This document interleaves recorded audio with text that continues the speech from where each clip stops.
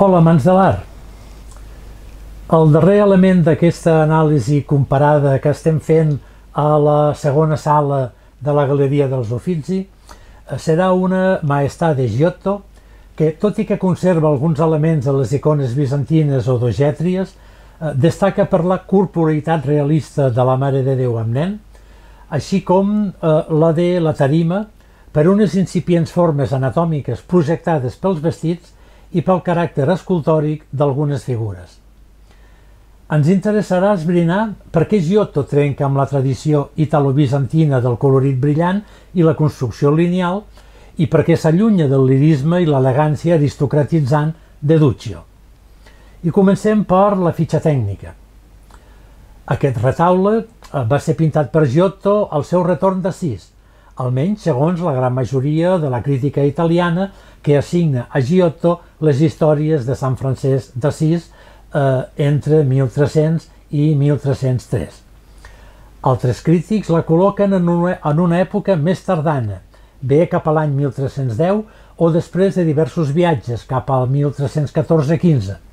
Per tant, a l'època dels frescos de la capella dels Escrovenya de Pàdua, quan ja era tan conegut que Dante el va esmentar en la Divina Comèdia, en el qual al·ludeix, a propòsit de la transitorietat de la fama, el fet que Giotto havia eclipsat ja el mestre Cimabue. Així Vasari ens parla de Giotto. El deute que tenen els artistes pintors amb la natura, que serveix sempre de model a aquells que se les enginyen per extreure les seves parts més admirables i belles per tal de reconstruir-la en les seves representacions, eh, la tenen igualment amb Giotto, perquè després d'haver estat la norma i el dibuix de la bona pintura tants anys enterrats a causa dels desastres de la guerra, ell tot sol, encara que format entre artistes ineptes, va ressuscitar amb do celestial el que s'havia perdut i el va conduir al que considerem la bona forma. A l'edat de 10 anys, Bondone li va confiar la cura d'un ramat d'ovelles que ell portava a pasturar diàriament per diferents llocs. Tenia una inclinació innata pel dibuix, el que sovint el portava a representar per plaer figures del natural o de la seva imaginació sobre pedres, a terra o sorra. I va succeir que un dia el molt celebrat Cimabue, de viatge pels voltants de Florència, va veure a Vespignano a Giotto, que, mentre les seves ovelles pasturaven, retratava a una d'elles sobre una pedra plana i polida amb una altra apuntada, sense altre coneixement per fer-ho que el seu instint natural. Cimabue es va meravellar fins al punt que li va proposar que eh, se n'anés amb ell. Junts es van dirigir a Florència, on Giotto, en poc temps, no només va aconseguir l'estil de Cimabue, sinó que, encara més, imitant a la naturalesa, va desterrar el tosc estil grec de la seva època i va ressuscitar el bon art de la pintura moderna i va introduir el retrat humà del natural, que no es realitzava des de feia segles. Quan va acabar aquestes obres, eh, va anar a Assís a acabar l'obra iniciada per Cimabue, on va adquirir gran fama a causa de la qualitat de les figures que va fer en aquest fresc.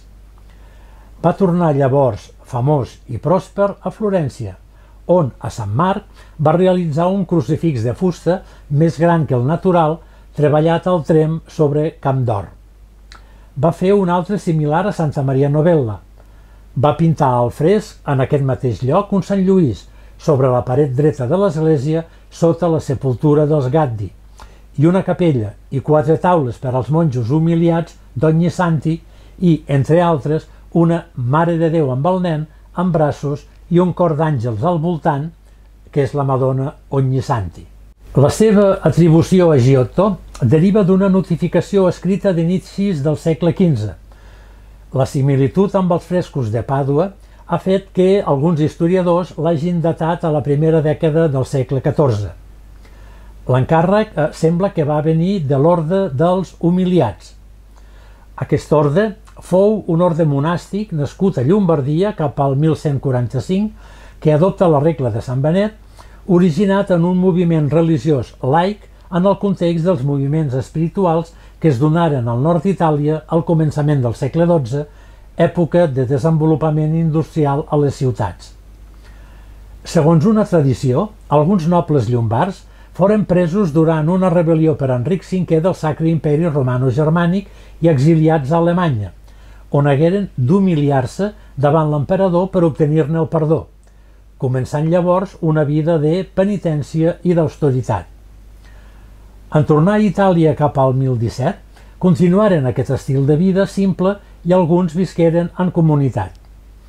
Vestien un hàbit de roba gruixuda amb capa i una mena de barretina al cap, per la qual cosa eren anomenats eh, beretini, barretins. Eh, van començar com una associació de treballadors laics casats que triaren de viure voluntàriament en la pobresa i la penitència com un ordre religiós però sense fer vots públics ni vida comunitària a la manera de les confraries. Eh, pertanyien a la confraria ciutadans rics, nobles, eclesiàstics i altres persones benestants que optaven per la frugalitat i l'austeritat com una reacció contra el materialisme imperant en un moment de gran riquesa en les ciutats industrials. Coincidia amb un bon moment per a la producció tèxtil. A més, eh, predicaven públicament la penitència i instaven a seguir el seu mode de vida. L'orde monàstic eh, cresqué ràpidament i va tenir una part important en la vida cívica de les ciutats on hi havia comunitats. Intentaren establir un estil de vida per a tothom basat en l'austeritat. Algunes ciutats, especialment al nord d'Itàlia, van promulgar lleis sumptuàries que limitaven l'ús d'alguns articles de luxe, especialment de robes i vestits, i que foren adoptades a partir del 1300 a la majoria de ciutats italianes. Al 1216 hi havia 150 eh, comunitats regulars en territori llombard i un bon nombre de laics que vivien a casa seva sota les directrius de la regla. Molts monestirs, com altres membres laics, treballaven en la indústria tèxtil de la llana mantenint factories. Amb els guanys finançaven activitats benèfiques i donaren origen a la banca. Els monestirs i les comunitats feien préstecs i donaven ajuts econòmics foren suprimits al 1571, tot i que la branca femenina va subsistir fins al segle XX. Aquesta Madonna va ser pintada per a l'església del seu convent d'Ogni Santi i d'aquí el nom. Observem que tant la mirada de la Mare de Déu com el tron estan concebuts igual que la Maestà de Duccio a Santa Maria Novella perquè l'obra sigui col·locada a la dreta de l'espectador, probablement sobre un mur intermedi, el tramezzo, la separació que abans del concili de Trento dividia en les esglésies la zona dels sacerdots, el presbiteri, de la dels fidels o d'algun tipus d'altar d'aquest costat. El nen que beneix està girat tres quarts i mira cap a l'esquerra. El primer esment de la taula com a obra de Giotto es remunta a Lorenzo Giberti com taula grandíssima de la Nostra Senyora asseguda en una cadira amb molts àngels al voltant. Eh, fou restaurada al 1991. Entrem ara a la descripció o anàlisi iconogràfica. La taula mostra la Mare de Déu i el nen entronitzats sota un dosser de gust gòtic decorat amb incrustacions de marbre a la manera dels Cosmati. Els Cosmati eren membres d'una família romana pertanyents a quatre generacions diferents que van viure entre els segles XII i XIII, famosos per les seves obres arquitectòniques i per les seves escultures, però especialment pels seus mosaics, fins al punt que es parla de cosmatesc per indicar l'estil i les tècniques utilitzades per aquests mestres i els seus imitadors. A cada banda s'hi troben profetes, sants i santes disposats de formes simètrica al igual que la parella d'àngels portadors de gerros amb flors ubicats al peu del tron. Pel que fa a les fisonomies, sembla que Giotto es va basar en l'observació de models vius, possiblement per influència de Cavallini, l'obra del qual va poder conèixer a Roma cap al 1300. Aquesta maestat devocional és un himne a la virginitat, a la maternitat i a la majestuositat de Maria – Un àngel li ofereix una preciosa corona, mentre un altre lliura la píxide eucarística a l'infant, al·lusió a la passió de Crist. Eh, la píxide, del grec pixis, és un recipient utilitzat per portar l'hòstia consagrada als malalts i invàlids. Als seus peus, dos àngels porten com a ofrena un gerro amb roses i lliris a símbols marians. És fàcil observar la perspectiva amb les figures sòlidament disposades en un espai on el tron tridimensional els confereix versemblança. Realistes són també els rostres, els marbres de colors diversos, les flors pintades al natural i fins la fusta de la taula dels peus de la Mare de Déu. Feta la descripció, anem a realitzar l'anàlisi comparada de les Mare de Déus de Cimabue, Duccio i Giotto. En la comparació de tres estils aplicats al mateix tema, de tres primitius italians, els que defensen una progressió a la recerca de més realisme i profunditat, tercera dimensió o espai modern, parlaran d'evolució des de Cimabue a Giotto. Nosaltres, per contra, parlarem de tres moments històrics diferents i, sobretot, de tres públics diferents representats per tres confraternitats que tenen diversos orígens socials. De manera que és el client qui condiciona el resultat de l'obra i no l'autor, el qual considerarem un bon artista en tant en quant sàpiga codificar els interessos i l'imaginari visual del receptor a qui va destinada l'obra. La història dels estils, només preocupada pels elements formals de l'art, no pot donar una resposta satisfactòria al per què canvien els estils o per què en un mateix moment coexisteixen estils diferents o per què un mateix artista pot pintar en diferents estils en funció de qui li fa la comanda. Els termes de referència de l'anàlisi formalista i estètic només permeten judicis basats en el gust personal o bé són de difícil definició i aplicació. Parlen de bellesa, sensibilitat per la línia o el color, eh, experiència estètica i són d'escàs valor en la investigació històrica. No hi haurà possibilitat de comprensió de la producció artística i o cultural mentre la nostra aproximació sigui merament formal – mentre continuem estudiant el desenvolupament dels estils aïlladament, sense connexió amb altres aspectes del desenvolupament històric. El tema i la forma, la combinació específica dels quals constitueix l'estil, estan vinculats als diferents receptors, grups socials que posseixen diferents ideologies i concepcions del món. Eh, cal, doncs, establir les causes econòmiques i socials que han produït aquestes divisions. Només podrem comprendre els orígens i la naturalesa de la coexistència dels estils si estudiem els diferents grups socials que integren la societat, els seus interessos, lluites, eh, concepcions filosòfiques, ideològiques i religioses, així com les concessions que fan a altres classes com a mitjà de control o per obtenir-ne el seu consentiment. Serà fàcil, llavors, associar cada estil al concepte de vida que li correspongui. Les divergències estilístiques entre les obres d'art són degudes no tant a diferències individuals entre els diferents artistes o al seu geni creador, a les seves habilitats i personalitats, sinó al fet que aquestes obres estaven destinades a diferents grups socials o satisfeien diferents necessitats. Dins d'aquesta anàlisi comparada comencem pel tema. Es tracta d'una Mare de Déu en majestat, una maestà amb el nen a la falda, envoltada d'àngels i asseguda en un tron esculpit. Els atributs de les tres són similars. Els personatges centrals, la Mare de Déu i el nen, són més grans que els àngels, iconografia simbòlica bizantina eh, i respecte per la jerarquia divina.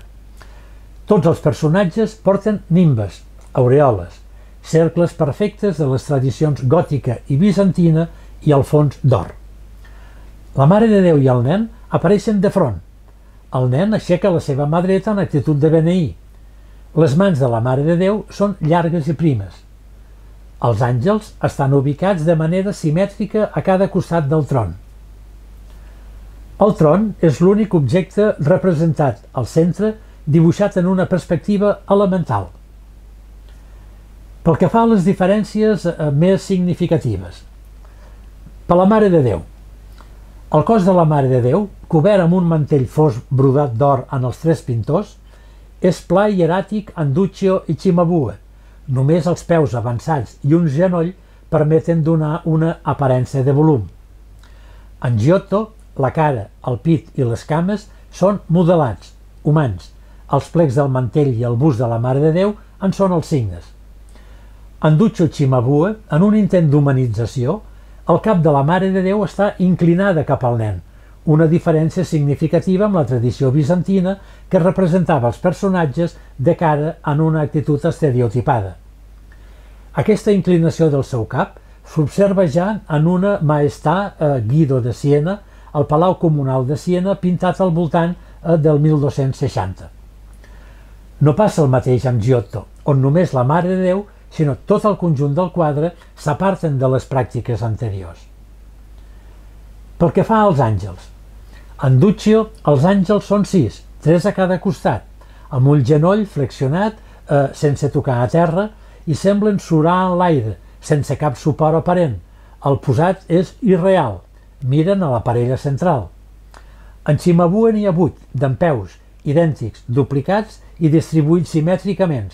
La seva posició és esglaonada en capes successives. La primera fila eh, posa els peus sobre el relleu del tron, Quatre profetes els complementen sota el tron en nínxols arquitecturats. Les seves mirades s'adrecen a l'espectador.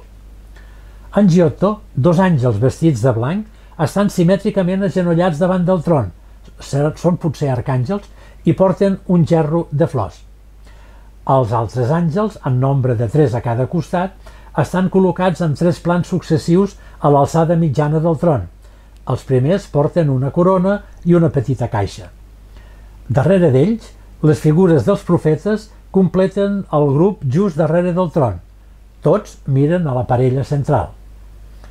Pel que fa al tron, si els trons de Duccio i Cimabue són d'una perspectiva elemental, gairebé isomètrica en Duccio i combinant seient i arquitectura en Cimabue, la de Giotto es configura amb un baldaquí de laterals oberts un pedestal elaborat mostra una racionalitat molt terrestre i fins i tot es percep a través de les obertures els profetes al fons de l'escena. La perspectiva no és encara realment un punt de fuga central, però el tron participa de la profunditat de l'escena i successius plans creïbles de la col·locació de personatges eviten la superposició dels àngels de Cimabue. Les escales del sòcol de marbre recolzen la impressió de profunditat. Pel que fa al nen, si porta atributs diferents, un rotlle a la mà esquerra en Cimabue, la seva mirada animaria a dir que només la maestra de Cimabue devia estar de front al fidel ubicat davant l'altar, mentre que les mirades adreçades a l'esquerra de les dues altres taules indicarien una ubicació de les taules a la dreta d'aquest mateix fidel que mira la representació del Salvador. Finalment, entrem a les lectures i interpretacions de l'obra de Giotto. Malgrat alguns trets d'influència bizantina, el fons d'or i les proporcions jeràrquiques, eh, la Mare de Déu i el nen més grans que els que els envolten, composició central de la Mare de Déu amb nen, simetria entre les figures, la posa hieràtica de Maria, àngels i apòstols al seu voltant el sol d'or simbolitzant la divinitat, Giotto reinterpreta el tema de la maestà mitjançant la recuperació de l'especialitat tridimensional dels antics i la renúncia a la frontalitat bizantina. Giotto serà el primer a mostrar un nou codi diferent dels esquemes bizantins, lligats a la bidimensionalitat, la manca de profunditat i de volum, l'esquematisme de les figures i l'allunyament de la realitat no es vol dir que l'art bizantí fos de baixa qualitat, sinó simplement que codificava altres estructures de poder. La Mare de Déu presenta una volumetria excepcional, aconseguida amb el suau modelat dels plecs de la seva túnica que tenen un fort caient cap a terra. A destacar les qualitats de les teles de la Madonna, des dels fins rivets daurats de la túnica fins les diverses matitzacions de blanc, deixant transparentar el pit de la Mare de Déu. La figura del nen eh, també presenta una forta corporeïtat. Tot i que àngels i sants són encara eh, rígidament simètrics, no estan uns darrere dels altres, aixafats, sinó que es col·loquen amb ordre un darrere d'un altre, cadascun amb la seva pròpia fisonomia. Estan ubicats en un ordre de perspectiva. Com en la Maestà de Duccio, la Mare de Déu està asseguda sobre un tron arquitectònic amb un punt de fuga central que el baldaquí o tabernacle accentua i precisa. A diferència del tron que apareix a la Maestà de Cimabue, hi ha un intent d'apropar l'escena a l'espectador, de dur a terme una representació més realista mitjançant la incorporació de dos graons de pedra revestits de marbre i pedres de color construït segons una perspectiva intuïtiva però eficaç. A la sensació de profunditat i, per tant, de tercera dimensió, hi participa la disposició dels dos sants o profetes barbuts a la darrera fila, visibles només a través dels laterals calats del tron. Estan representats de tres quarts, a diferència dels àngels que apareixen de perfil. Amb la seva presència estan representats tant l'Antic com el Nou Testament.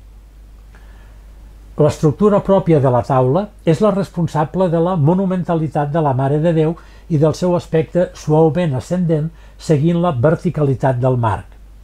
Però l'obra és també d'una gran elegància tant per la lluminositat que s'aconsegueix pel fons d'or i les orles dels sants com per la decoració minuciosa de l'escacat i en estil cosmatesc.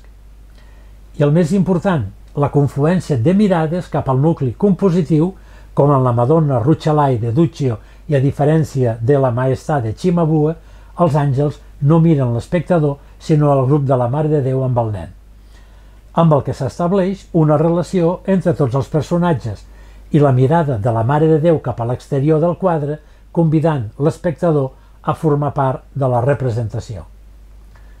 A això hi ajuda la imatge senzilla de formes naturals i presència humana de la Madonna. Novetat és també la representació de perfil d'alguns d'ells, en particular els quatre àngels del primer i segon pla que porten ofrenes per a la Mare de Déu.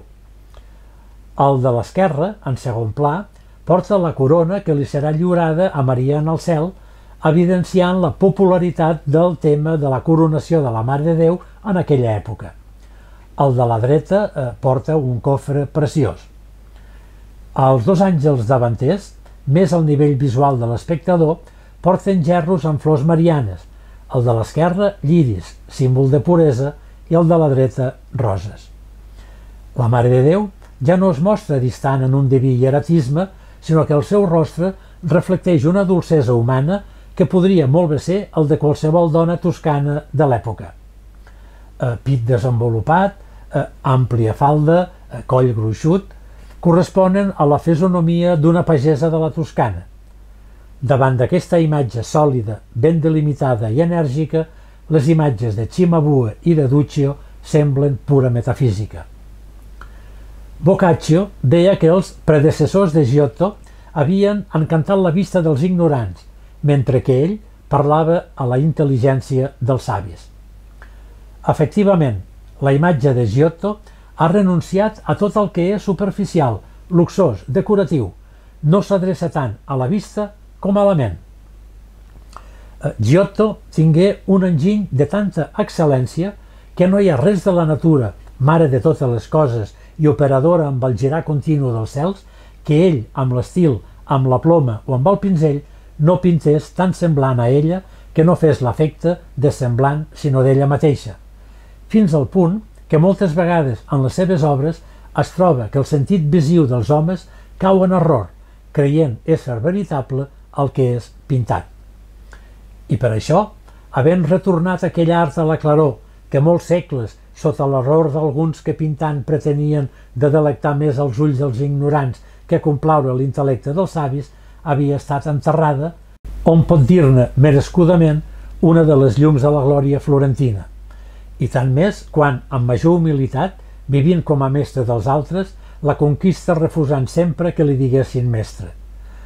El qual títol, per ell refusat, tant més en ell resplendia quan amb major desig era covejosament usurpat pels que sabien menys que ell o pels seus deixebles. I encara que la seva art era molt gran, no era pro ni de persona ni d'aspecte de cap manera més vell que Míser Forese. Tot i conservant els principis fonamentals de la pintura bizantina, subjecte, simbolització dels personatges sagrats, iconografia, simbolisme dels colors, elabora una altra pintura humanitzant la representació dels personatges, la seva individualització, la introducció d'una representació coherent i realista del decorat, perspectiva formal del tron, detalls arquitectònics, eh, plànols de col·locació dels personatges, etc. La tècnica pictòrica no és la del dibuix esquemàtic esbossat del segle XIII, sinó la d'un esfumat delicat però incisiu i regular que dona un volum nou a les figures. Sovint s'ha comparat Dante i Giotto. Són els dos grans pilars d'una nova cultura conscient de les seves pròpies arrels històriques llatines. Però si el sistema de Dante presenta una estructura doctrinal modelada sobre el pensament de Tomàs d'Aquino, el de Giotto mostra una estructura ètica que deriva de l'altra gran font de la vida religiosa del segle XIII, Francesc d'Assís. No respon a aquesta codificació el que segurament volien veure els humiliati en la seva església? Ja no es tracta, com en Duccio, d'una confraternitat de lais que canten lluances a la Mare de Déu i que per tant volien establir un brinque emotiu amb els confrares i la Mare de Déu a través d'una imatge lírica i per això idealitzada i distant. Ara es tracta d'un orde monàstic format per laics d'origen ric i benestant que optaven per l'austeritat, recordem que el mateix Francesc d'Assís era fill d'un ric comerciant de la ciutat. I per tant, eh, el seu imaginari visual està més proper de la simplicitat, de l'ordre clar i compacte de la realitat i del que és humà. Fixem-nos que a l'obra de Giotto s'hi veu una escena que sembla real, si més no, molt més real de la que s'hi veia a la de Cimabue i Duccio. Sembla que estigui esdevenint davant nostre, i això Giotto aconsegueix representant el tron en perspectiva central, encara que no en la perspectiva científica del Quattrocento, amb uns personatges eh, que són persones reals, o ho podrien ser, amb les proporcions adequades i moviments i expressions naturals, amb un volum ben definit, amb robes que són versemblants. Tot sembla indicar que Giotto havia fet de l'estudi del que és real una pràctica gens usual en aquell temps. Els àngels agenollats i els dos que estan dempeus sembla que estiguin cantant, cosa que contribueix a fer més viva l'escena. Amb tot, Giotto no podia trencar amb totes les convencions, però és que tampoc els seus receptors es podien imaginar una Mare de Déu sense un fons d'or que aplanés la perspectiva de l'escena i sense un mantell pintat de blau ultramar obtingut a partir de la pols de l'àpid làssoli, eh, força car, o bé sense una jerarquia que dotés de més dimensió les figures centrals. La magnitud reflectia la importància del personatge. Giotto fou, doncs, qui millor va saber codificar els canvis revolucionaris que es varen produir a la Florència de finals del segle XIII i principis del XIV i que tingueren eh, en els Ordinamenti di Justícia de 1295 la seva plasmació jurídica. Foren una sèrie de mesures legals adoptades a Florència entre el 1293 i 1295 que tenien com a objectiu afablir els magnats o les aristocràtiques famílies florentines a favor de l'emergent classe comerciant i del seu major pes polític. Els nobles eren exclosos de qualsevol càrrec públic i es posava com a condició necessària d'elegibilitat la inscripció en una de les arts de Florència.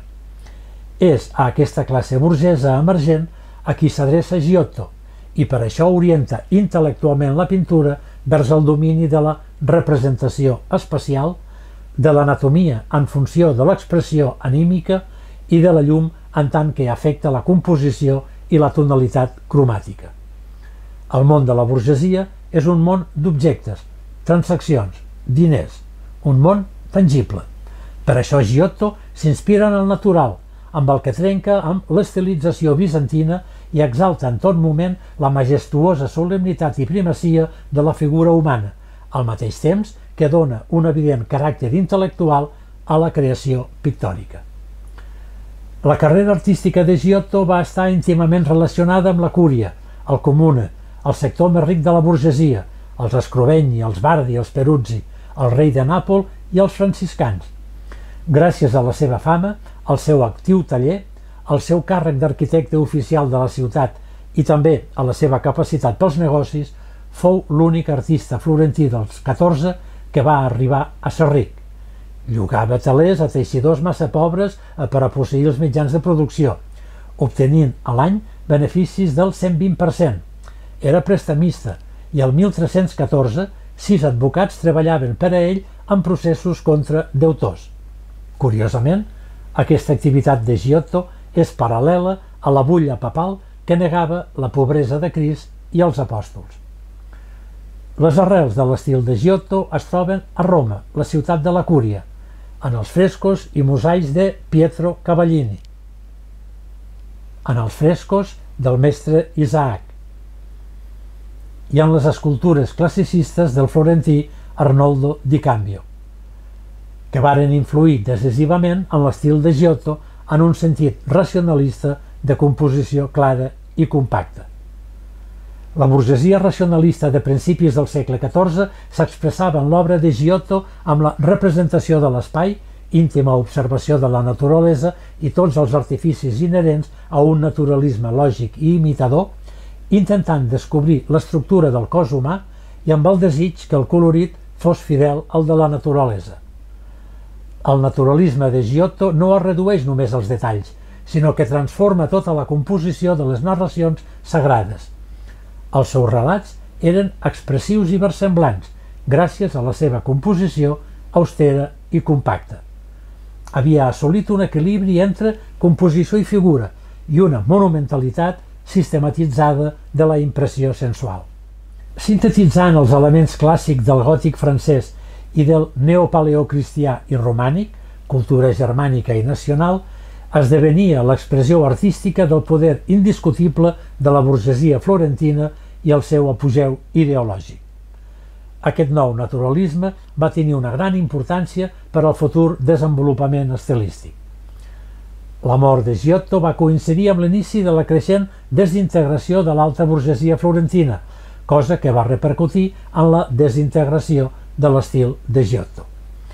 La fallida de les cases dels Bardi els Peruzzi i la pesta de 1348 varen produir un estancament en l'activitat econòmica de la ciutat, empobrint i minant el poder de l'alta burgesia. Incapaç de retenir plenament la seva anterior preeminència i mancada de l'impuls que la va situar al cim del poder, l'alta burgesia es veia obligada a contínues concessions envers les classes baixes. La pintura posterior a Giotto no era capaç de seguir el concepte severament racionalista i la compacitat compositiva del mestre, ni de mantenir la seva claretat espacial i la seva construcció de les figures.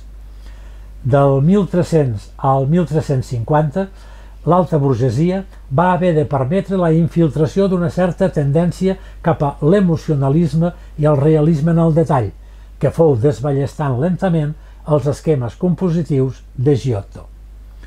És per això que la pintura sienesa va anar inundant la producció artística florentina, en un moment de reacció oligàrquica i restricció dels drets de ciutadania. El gust artístic de la burgesia sienesa, endarrerida respecte a la florentina i més vinculada a la noblesa, se sentia menys atreta per l'art secular racionalista i més per les diferents formes del gòtic tardà, més relacionat amb l'art del passat i més influït pel sentiment religiós. Aquest corrent d'art sienès va donar caràcter gòtic a l'herència de Giotto. Caldrà esperar a Masaccio, ja en el 400, per establir ponts amb l'obra de Giotto.